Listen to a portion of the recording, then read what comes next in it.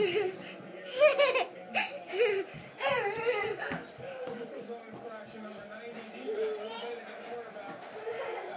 that it? Well. Hey, Caleb. I love you. I love you too.